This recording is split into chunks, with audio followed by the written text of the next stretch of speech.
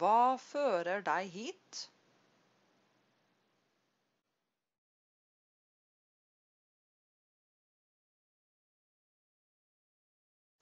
Jeg trenger flere tabletter.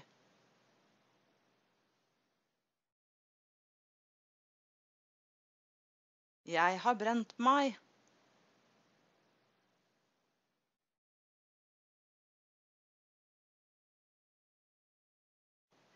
Jeg liker ikke tabletter.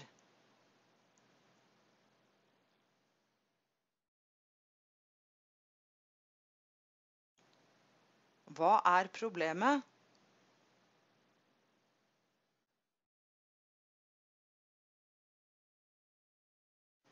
Hva feiler det deg?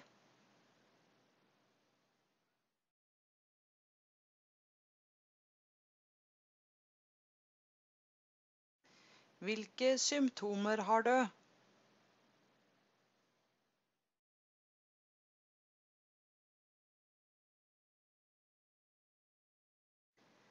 Still deg på vekten.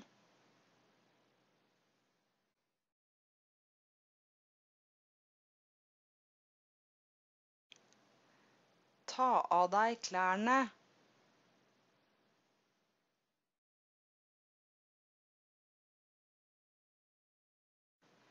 Ta av ham klærne.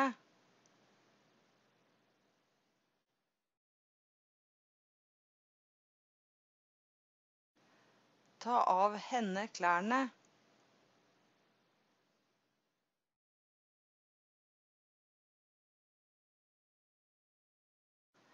Hold ham, er du snill.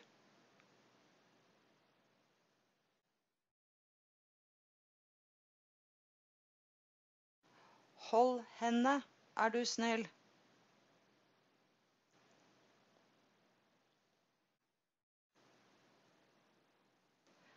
Jeg skal måle blodtrykket.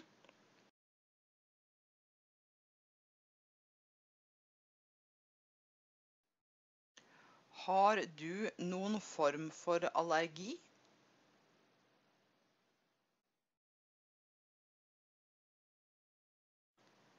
Jeg skal ta en blodprøve.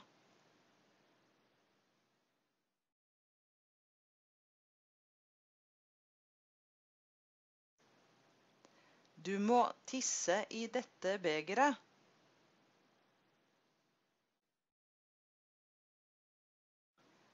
Jeg skal rense såret.